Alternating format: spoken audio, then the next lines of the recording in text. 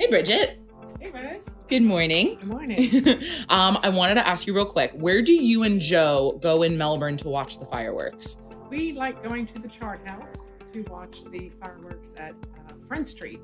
Okay. It's nice because you can have appetizers and um, or a cocktail.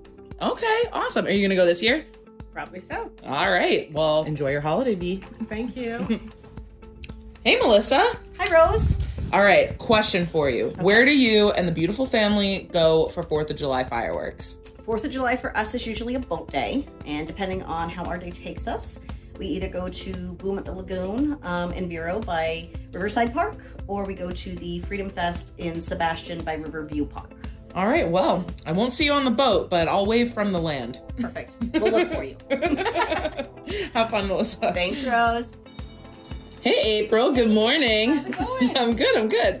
I wanted to ask you, um, where do you and your family go to watch the fireworks for Fourth of July? Uh, we go to the Viera Space Coast Stadium. We usually head there a little early. The fireworks go off at 9. Uh, but we take the golf cart down, avoid all the traffic, head down there with sparklers and all the fun stuff for the kids. Oh, awesome! Do you decorate your golf cart? We don't, not for the 4th of July. Maybe we will this year. That's an idea. Yeah. All right. Well, we'll see you at the stadium for Viera fireworks. And it's a great community event.